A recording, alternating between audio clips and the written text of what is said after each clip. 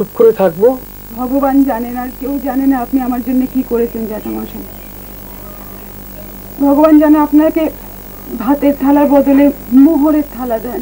মোহরের থালা আমার চাইনি রে কুসুম। ভগবানকে বলিস তিনি যেন আমার একটা ছোট্ট আশা মিটিয়ে দেন। তারপরে আর আমার মরে গেলেও কোনো দুঃখ থাকবে না। কিসের আশা জ্যাঠামশাই? কুসুম আমার বড় ইচ্ছে আমি একটা হোটেল খুলব। এই রেল বাজারের সেরা হোটেল। নাকি দশ বছরে হোটেলের কাজকর্ম আমি খুব ভালোই শিখেছি। তবে হ্যাঁ, ওই মানুষ ঠকানোর জচ্চুরি করার কুশিক্ষাটা আমি নিইনি। দেখ মানুষকে ভালো খাইয়ে তাকে খুশি করে তাকে তৃপ্তি দিয়েও তো মানুষ ব্যবসায় উন্নতি করতে পারে। আমি তাই করব। আমার টাকা নেই। দাদা বল্লভের দয়ায় টাকা আমার একদিন দিতে যাবে।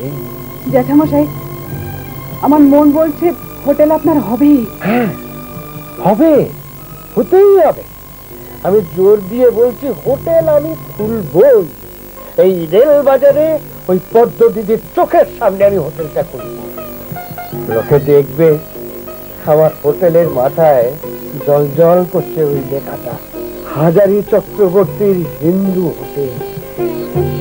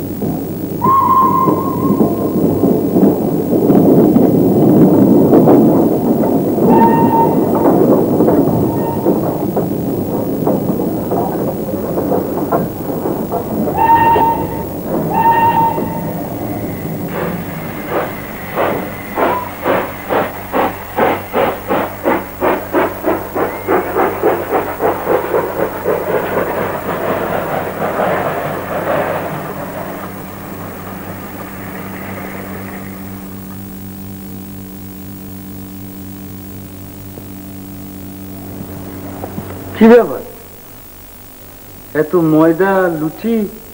ও পদ্ম দিদি কে খাবে? তোমার যা রান্না বান্না করার আছে আগে ভাগে সেরে নাও। এই লুচিগুলো ভাজতে হবে।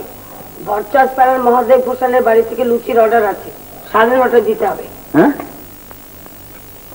সাড়ে নটার মধ্যে হোটেলের রান্না রাখব তারপরে এই আজমন ময়দা ভাজবো? কি বলো কি পদ্ধতি তা কি করে হবে? হয় কি না হয় সেটা তো আর আমার বলার কথা নয়। কর্তাবাবু বলে গেছে আমি তোমাকে জানালাম। উনি বড় বাজার গেছেন ফিরতে রাত হবে। তারপর তুমি করবে কি করবে না তোমার মর্জি। সে তো ভেলা কাঁচে ফেললে বাপু। রতন ঠাকুর ছুটিতে সে থাকলে না হয় দুজনে মিলে ভাগাভাগি করে ভেজে ফেলা যেত। না না কর্তা বাবুর বাবু এরকম অর্ডার নেওয়া ঠিক হয়। ও বাবা তুমি দেখছি কর্তাবাবুর উপরেও যাচ্ছ। তোমার খুশি মতো এখানকার কাজ চলবে? তো আমায় অসাধ্য সাধন করতে বললে আমি কি করে করি? সেটা বলো। তক্ক কাচালি না করে রান্নাটা শুরু করবে? ওদিকে সন্ধে হলেই তো খদ্দের আসতে শুরু করবে। এমতে যা আগে হাতেরটা জ্বালিয়ে দে, যা যা। ওদিকে আবার গদি ঘর খালি পড়ে আছে। আমি যাচ্ছি, তুমি তাড়াতাড়ি করে নিও।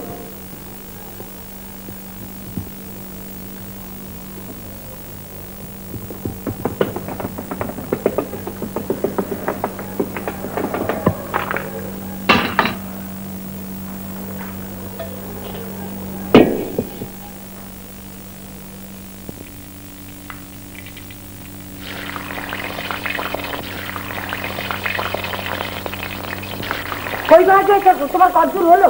হ্যাঁ ওই এক জড়ি হয়েছে। সবে তো ঝুড়ি চারেক গেছে। এখনই তো আবার মাল দিতে আসবে। এখনও এক গাদা ময়দা ডাঙায় কি করবে তুমি এখন? রে বাবা হাত মন ময়দা ভাজা। মন করে হবে? নটার সময় বোম্মার নেচে উনুনে দিয়েছি। মতি সচককে দেখে। আর সাক্ষী মানতে হবে না। হাত চালো হাত চালো তাড়াতাড়ি করো। এক হাতে বেলা ভাজা। মাথা খারাপ হয়ে যাচ্ছে আমার। খদ্দের অর্ডার দিয়েছে মাল বুঝে নেবে। এতে মাথা খারাপ হলে চলবে না।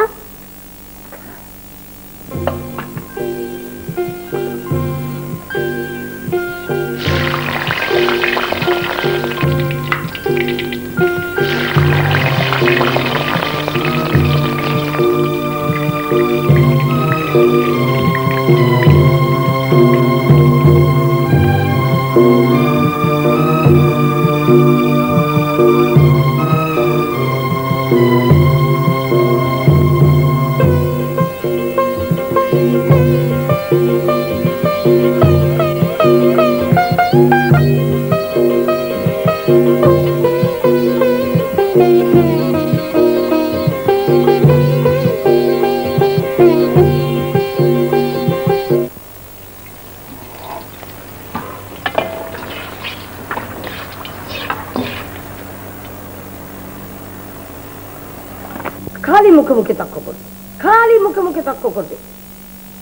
একাই খাতিস আমি খাতি না? খাটতে খাটতে হাত মাস কালি হয়ে গেল গা।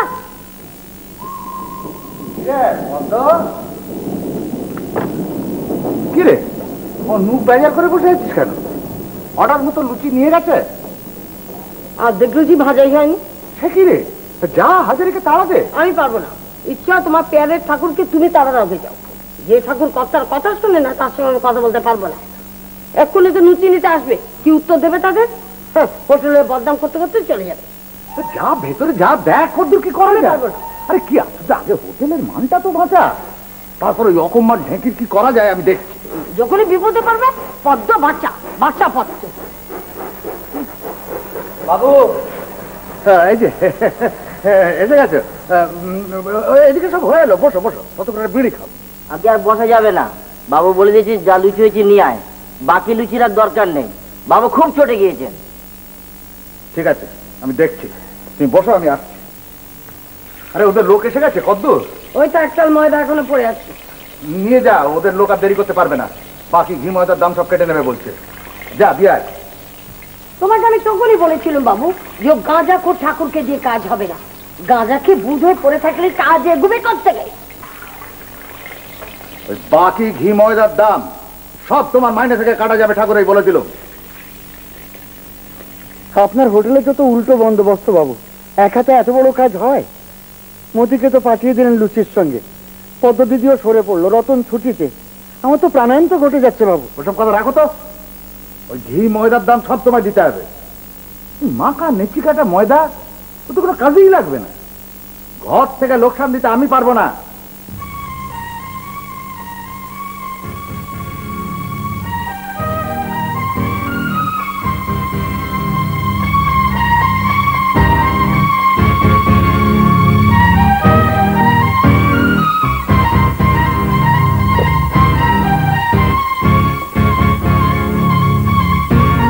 মতি হ্যাঁ মতি হ্যাঁ মতি তুই মজাটা বল তো ওরা তো কেউ নেবে না। নিজে এত বেলে কি হবে? দাম তো আমায় দিতে হবে। আমি নেব লুচিগুলো তোকে খাওয়াবো। আমি খাব। আমি রাস্তায় দাঁড়িয়ে বিলি করি।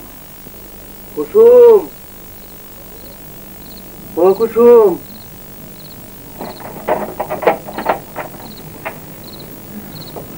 জ্যাঠামশাই এত রাতে কি মনে করে? নে এটা ধর। ঘুমিয়ে পড়েছিলে? কি আছে এতে?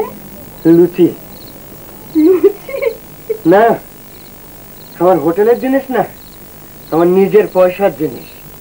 সেসব বৃত্তান্ত আমি তোকে পরে বলব। খা খা। গরম গরম ভেজে আনলুম। তুই খা তোর ছেলেকে দে শাশুড়িকে দে।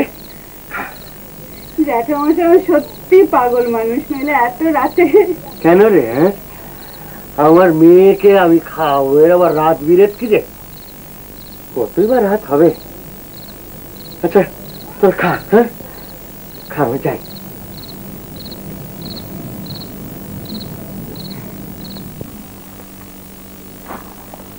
মতে? ও মতি। মতি রে? মতে শোন আমি বাড়ি যাচ্ছি। তুই দূর বন্ধ করে সাবধানে থাকিস। এই মাঝরাত্রি রে হ্যাঁ সাড়ে তিনটের গাড়িতে ধরবো। তারপরে আধ ঘণ্টা হেঁটে ও আমি ভোর ভোর পৌঁছে যাব। তুই একটা পদ্ম পাতা যেত তুমি পাগল? নইলে এমন খেয়াল কারোর মাথায় চাপে? তাই না? এতগুলো লুচি খাবে কে? আমার পয়সার জিনিস ছাড়বো কেন? মাগনা না তো।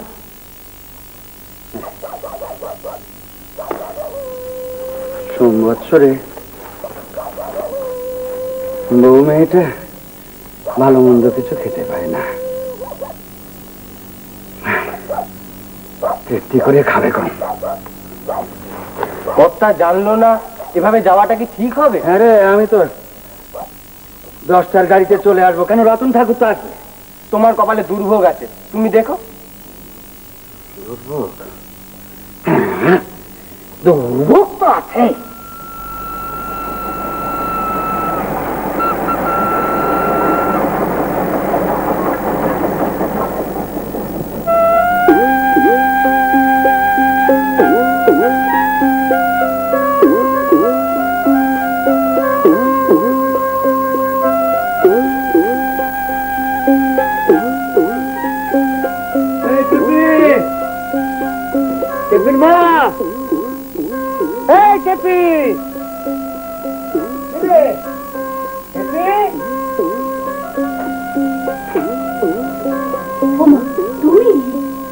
রাত্রিরে গাড়িতে কেন এলে গো? এলাম ঝোঁকের মাথায় চলে এলাম। রাস্তা। এত ভালো সব?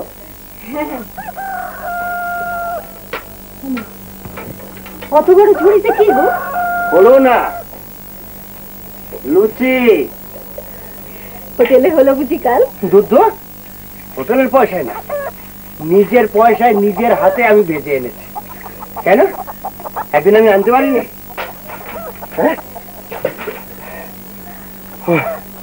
খাও। সব মজা করে খাও। টেপি তো আমাদের খুব লুচি ভালোবাসে। খাক আমি দেখি। কোথায় টেপি কোথায়? ঘুমোচ্ছে নাকি? ডাকো ওকে। ওই টেপি। দেখ কে এসেছে। হায় হায় হায়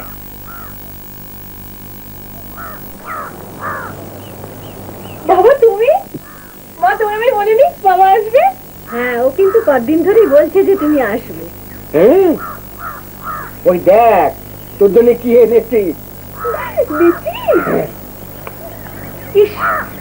মুখটা পর্যন্ত ধুলি না। তুই নোলা রে হ্যাঁ বকো না। থাক থাক। ওর মুখটা মনে রেখেই তো হয় না। থাক পেট ভরে খা। একটু চা করি বরং। বাসি রুচি দিয়ে ভালো লাগবে। না করো। শোনো ওগো আমি কিন্তু বেশিক্ষণ থাকব না। আমি ওই চানটা করেই চলে যাব। আমি আবার দশটার মধ্যে হোটেলে ফিরবো কথা দিয়ে এসছি। কেমন আশা? ছ মাস বাদে এসে না খেয়ে না দিয়ে চলে যাবে? বাবা তোমার আজকে যাওয়া হবে না। তুমি যদি আজকে যাও না এলো যে আমি একদম ছোবো না। হোটেল ছাড়া তুমি কিছুই জানো না না?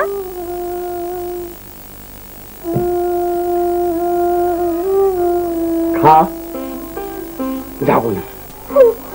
আজ আমি যাব না। যা হয় হোক হ্যাঁ? যাব না।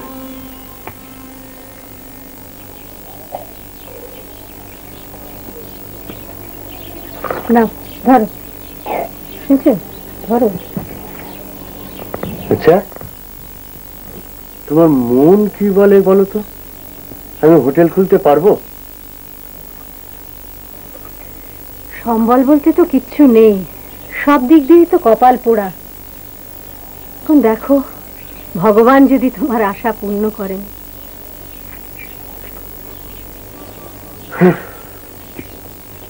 ভগবান কি আর তোমার হাতে টাকা গুঁজে দিয়ে যাবে? উপায় একটা বার করতেই হবে। আমি তো ভেবে ভেবে কোনো কুলকিনারা পাচ্ছি না গো।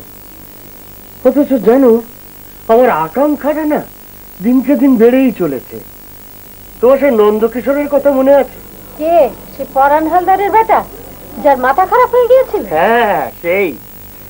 নন্দকিশোরেরও জানো কানা করি ছিল না। অথচ দিন রাত ভাবতো যাত্রা দল সে খুলবেই খুলবে। দল আর খোলা হলো না আর ওই ভাবতে ভাবতে নন্দকিশোরের মাথাটাই খারাপ হয়ে গেল। হ্যাঁ গো আমার মাথায় নন্দকিশোরের মতন ভূত চাপেনি তো। এত দুর্ভাবনা করছ কেন বলো দেখি তুমি? নন্দ আর তোমার অবস্থা কি এক হলো? হ্যাঁ? সে তো সারা জীবনই ছন্ন ছাড়ার মতো কাটালো। তার কথায় কি কেউ গেরাজি করতো না তাকে আমল দিত?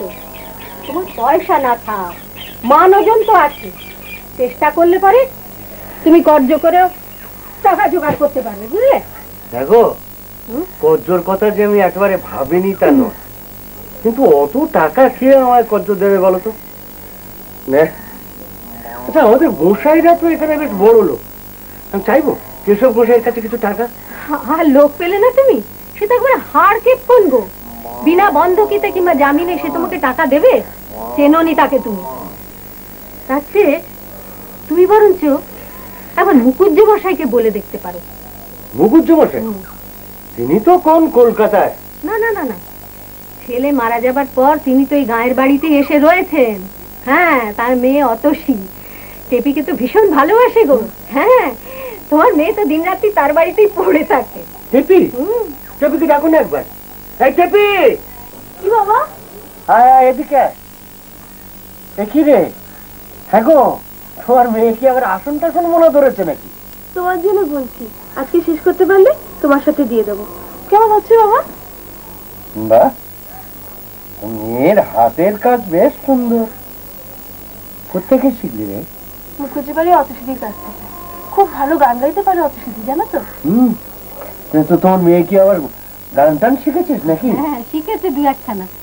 শোনাস বাবাকে শোনাস অতসিদির বাড়িতে না কলের গান আছে। চলো না তুমি একদিন আমার সঙ্গে রোজ সন্ধ্যাবেলা বাজায় ওরা। যাও না গো আজ সন্ধ্যেবেলা ওকে নিয়ে একবার। বলছো যাব? হুম। হ্যাঁ তো বন্ধু যখন যাই একবার বাবা এসো বাবা তুমি এখানে বসো আমি অতসিদির খবর দিচ্ছি।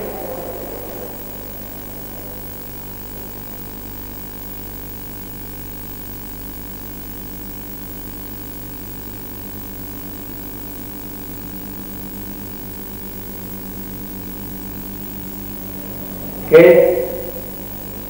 আগে আমি বাবু আমি হাজারি ও হাজারি আরে বসো বসো বসো বসো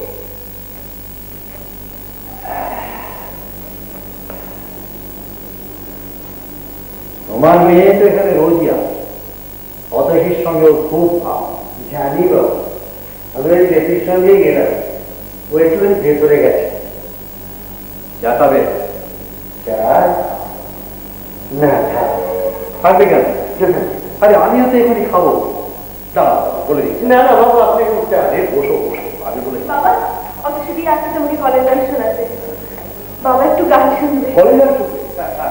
এ তো ভালো কথা। আহ, ওই যে শোন ভেতরে গিয়ে তোর বাবার জন্য আর আমার জন্য দু পেয়ালা চা নিয়ে অত শুধু আসতে বসো।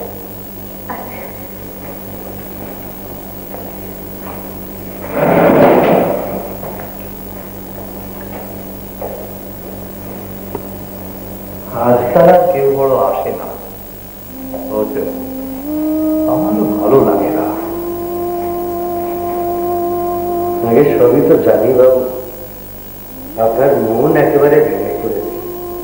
তাও বেশি ঠিকই দেখো, আমার একমাত্র ছেলে হঠাৎ চলে গেল। এখন ওই অত শিখা ওর বিয়েটা দিতে পারলে মনে হয় আমার জীবনের সব পর্ব শেষ হয়ে যাবে। যাক, আমার কথা থাক। এখন তোমার কথা বলো শুনি। আমার কথা? আমি ঠিক গান শুনতে আপনার এখানে আসিনি বাবু। তুমি একটু অন্য দরকারে এসেছি কি বল